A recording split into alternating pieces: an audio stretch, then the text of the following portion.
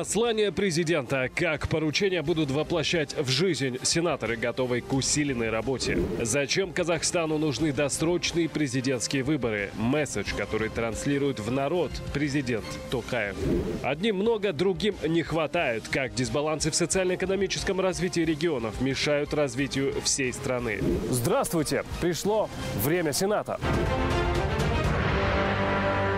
Первая неделя сентября по традиции в Казахстане оказывается насыщенной на политические события. Этот год не исключение. Президент Касым Жумар Токаев озвучил послание народу Казахстана. По сути, это масштабный план действий на ближайшие годы, как будет жить и развиваться страна, и не только экономически. Сентябрьское послание в этом году затрагивает и важные политические моменты.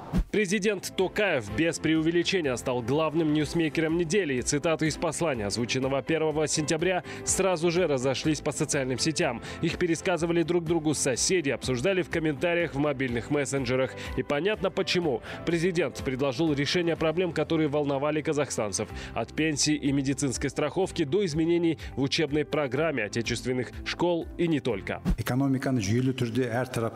В послании обозначены инициативы по диверсификации экономики, повышению благосостояния граждан и дальнейшему реформированию политической системы страны. Все эти меры являются конкретными шагами по построению нового справедливого Казахстана.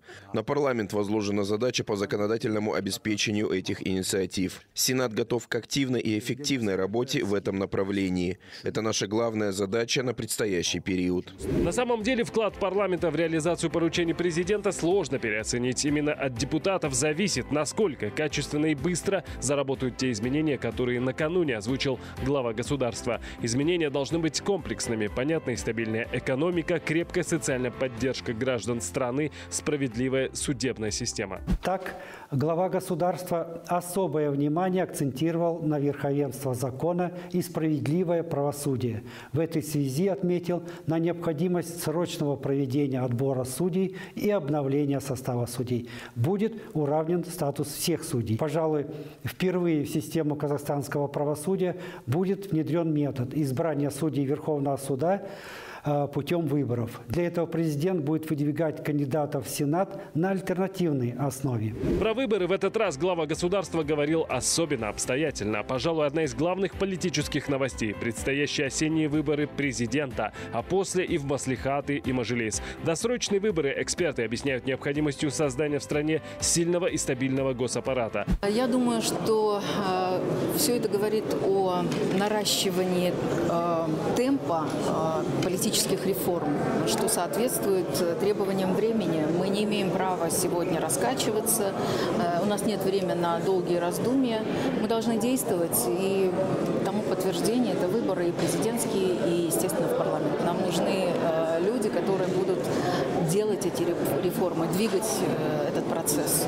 И для этого нужны новые знания, новые компетенции. И, как сказал президент, что среди тех, кто придет в парламент, возможно, будут те, кто станут членами Кабинета министров. Кабинет министров, к слову, во время этого послания президент упомянул отдельно. Месседж предельно ясен. Не справился с работой, подвел не только себя, но и главу всего государства. А потому жди новых кадровых решений. Работать будут только те, кто способен оперативно реагировать на вызовы и принимать взвешенные и актуальные решения. В рамках реализации послания нужно активно взаимодействовать с экспертами, общественными институтами и другими заинтересованными сторонами. Важно также обеспечить принятие качественных законов совместно с Мажилисом и правительством. Особый акцент в послании на социальную часть. Президент подчеркивает, он в курсе всех недовольств казахстанцев. Самые обсуждаемые вопросы, без сомнения, это некачественная работа системы обязательной медицинской страховки и возраст, в котором казахстанки выходят на пенсию. И вот накануне прозвучало. Президент предлагает пересмотреть систему финансирования медицинского сектора и внедрить добровольное медицинское страхование, а пенсионный возраст женщин заморозить и еще раз проанализировать все аспекты когда-то принятого решения. Президент поставил вопрос о несправедливом доступе к природным ресурсам. Действительно, например, нам с детства известна фраза о том, что в Казахстане представлена вся таблица Менделеева. Однако это для 99% населения так и остается абстрактным вопросом, поскольку бенефициаром этих ресурсов являются те же олигархические группы. Совершенно очевидно, что поставленный президентом вопрос о справедливости в экономике э, означает его решимость ликвидировать ту ситуацию, которая в январе вызвала всплеск народного, народного недовольства.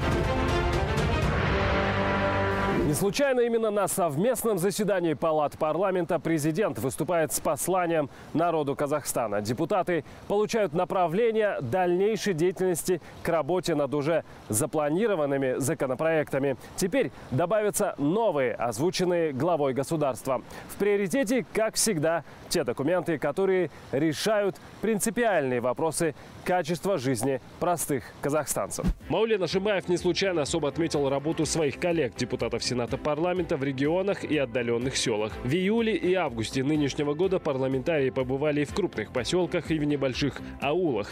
Председатель Сената подчеркнул, что вопросы, поднятые на встречах с представителями общественности и местными жителями, должны быть учтены в работе палаты на этой сессии. Больше всего людей в областях страны волнуют вопросы качества дорог, доступности медицинской помощи, дефицита мест в школах, нехватка поливных земель и пастбищ для развития сельского хозяйства. Было очень много встреч, проведено депутатами Сената. И острые вопросы, которые сегодня а, были озвучены населением, нашли свое отражение а, в послании президента. И в дальнейшем а, депутатами Сената они будут проработаны и отражены в депутатских запросах на имя правительства. И каждый данный вопрос действительно взят на контроль, потому что это очень важно.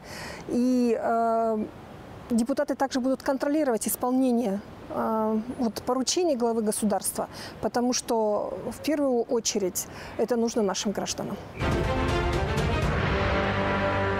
Таким образом, итогами таких поездок по регионам становятся не только законодательные изменения, а порой достаточно и депутатского запроса, чтобы заставить членов Кабинета министров обратить внимание на проблему, ведь решение ее уже давно прописано в законах страны. Или напротив, пообщавшись с местными исполнительными органами, депутаты становятся проводником изменений, предлагаемых, что называется, с нижней вертикали власти к верхней. В запросе на имя главы Кабмина Алихана Смаилова сенаторы говорили о необходимости снижения снижения дисбаланса в социально-экономическом развитии регионов. Речь в обращении к главе правительства шла о необходимости улучшения системы межбюджетных отношений, финансировании отдельных статей, оптимизации операций на примере Жамбылской области. В ответе на депутатский запрос в Кабмине признали, что работа по расширению полномочий местных исполнительных органов, в том числе и финансовых, будет продолжаться. Согласно концепции развития местного самоуправления, до 2025 года предусмотрено снижение финансовой зависимости четвертого уровня бюджета от вышестоящего уровня при решении вопросов местного значения. Концепцией предусматривается передача сельским бюджетам с 2024 года дополнительных налогов и платежей. Тем самым действующие источники доходов увеличиваются за счет передачи дополнительных видов поступлений на четвертый уровень бюджета. Еще одним основанием для депутатского запроса, адресованного правительству, становились проблемы Аральского моря и Кызылординской области. Именно этот регион сейчас наиболее страдает от экологических последствий, связанных с Аралом. Вопросы в своем депутатском запросе подняла группа сенаторов во главе с вице-спикером палаты Оскаром Шакировым. Несмотря на усилия государства по восстановлению Арала, считают сенаторы, этого пока еще недостаточно. Море до сих пор имеет миллионы гектаров высохшего дна, миллиарды тонн соли, разносящиеся ветром по региону и наступающие пески пустынь. Все это грозит еще более серьезной экологической катастрофой. Как вариант решения проблемы сенаторы предлагали посадку на дне моря адаптированных к пустынным условиям растений. С предложением парламентариев в Кабмине согласились. В целях дальнейшего улучшения экологической обстановки в Козлординском регионе проводятся фитолесомелиоративные работы по блокированию оползней в осушенной части Аральского моря. Так, в период с 2022 2022 по 2025 годы ежегодно планируется принимать меры по выполнению 250 тысяч гектаров фитолесомелиоративных работ. Таким образом, к концу 2025 года площадь лесов на осушенной части Аральского моря составит полтора миллиона гектаров. Это было «Время Сената». В следующих программах мы вновь расскажем о законах, которые пишутся для социального благополучия всех граждан страны. Увидимся в эфире.